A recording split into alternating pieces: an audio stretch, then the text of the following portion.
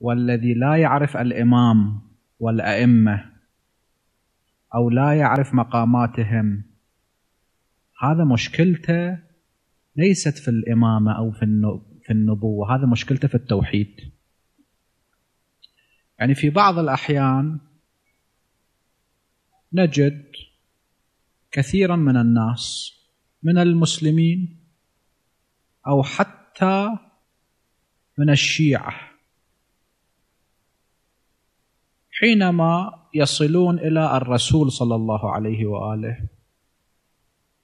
تشوف هناك نوع من الضبابية أو نوع من الإنكار لمقاماته صلى الله عليه وآله. وبعد ذلك يسوقون بعض الأدلة سواء من القرآن أو من الحديث الشريف أو من العقل. في حين أنه لو كان بالأساس يعرفون الله سبحانه وتعالى ما كان يصل الأمر إليهم إلى إنكار النبي أو مقامات النبوة. والذين قصروا في أمير المؤمنين أو غلوا فيه السبب هو ذاك. يعني مثلا واحد يجي ينكر عصمة الرسول صلى الله عليه وآله.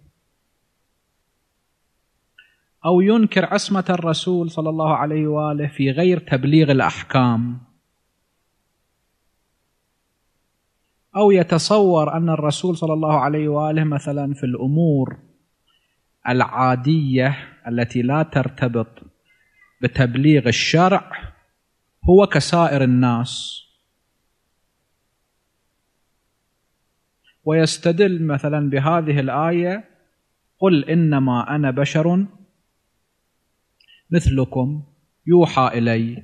زين هذا السبب أنه لم يعرف الله سبحانه وتعالى لم يعرف الله سبحانه وتعالى. وأخطأ في فهم هذه الآية. ليش؟ لأن الآية لا تقول إن الرسول صلى الله عليه وآله مثلكم في مقاماته.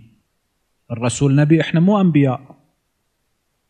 مثلية الرسول لنا ليست بمعنى أنه ليس بنبي لأننا لسنا بأنبياء. أو الرسول ليس بمعصوم لأننا لسنا بمعصومين. أو أنه يخطئ كما نحن نخطئ. هذه الآية معناها أن الرسول صلى الله عليه وآله من الجنس البشري تركيبته الجسدية كتركيبتكم. زين هذا اللي ينكر مقامات الرسول لأنه ما يعرف الله. الله سبحانه وتعالى قادر على كل شيء.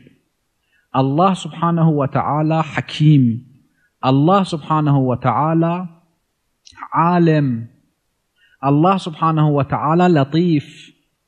الله سبحانه وتعالى رحيم. زين هو الذي اصطفى الرسل. واصطفى الرسول صلى الله عليه وآله. زين الله هو قادر عالم حكيم لطيف. هل يصطفي؟ اصطفاء يعني اختيار أخذ صفو الشيء. هل يصطفي رجل فيه خلل؟ ولو من جهة من الجهات. يعني هل عاجز؟ مو حكيم مو قادر. مو عالم. إذا أنت اعتقدت بأن الله قادر حكيم عالم رحيم وهو يريد أن يصطفي فالمفروض أن من يصطفيه لا يكون فيه خلل ولا نقص. إذا ينسى إذا يسهو إذا تنتابه الحالات غير السليمة الحالات النفسية. وهذا مو اصطفاء هذا. إحنا يمكن نصطفي شخص أو نصطفي شيئا بعدين تبين به خلل. لماذا كان فيه خلل؟ لأن إحنا كنا نجهل.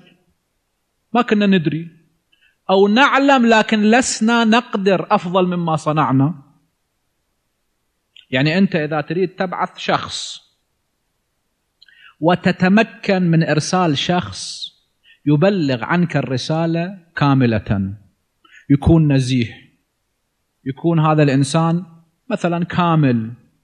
زين إذا أنت لا ترسل هذا الشخص الذي تقدر عليه وتعلم به ترسل غيره يقولون يقولون لك لماذا فعلت ذلك؟ أنت كنت تتمكن من بعث الأفضل فلماذا بعثت غير الأفضل؟ فد مرة أكو حكمة ما يخالف. لكن إذا ماكو حكمة في ذلك فلا وجه له إطلاقا. فاللي يجي حول الرسول صلى الله عليه وآله هذا مشكلته في التوحيد ما يعرف الله ما يعرف صفات الله سبحانه وتعالى. والذي يأتي إلى الأئمة عليهم الصلاة والسلام من الغلو يعني يغلو فيهم. هذا لأنه ما يعرف الله سبحانه وتعالى أنه ليس له شريك. أو اللي يجي ينقصهم عن مرتبتهم. هذا ما يعرف الله سبحانه وتعالى الله سبحانه وتعالى في القرآن يقول ثم أورثنا الكتاب الذين اصطفينا من عبادنا.